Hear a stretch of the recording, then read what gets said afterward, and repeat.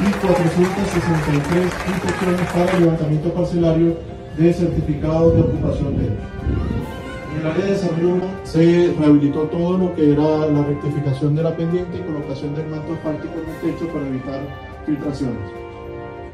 Del Centro de Educación Inicial, Monseñor Luis Eduardo Enríquez, se rehabilitaron las fachadas y de igual manera se realizó la impermeabilización de 81 limpiezas de áreas verdes, 1.263 eh, podas quitadas. En servicios públicos se realizaron las siguientes obras. Ampliación de la sede del Cuerpo de Bomberos, conservación y mejoras del cementerio municipal, sustitución del sistema de iluminación municipal por nuevos parte alta. De igual manera, en el, eh, conservación y mantenimiento del hospitalito, el doctor José Gregorio Hernández eh, se rehabilitó todo el área de los techos del centro médico. Radio Asamblea Nacional es noticia.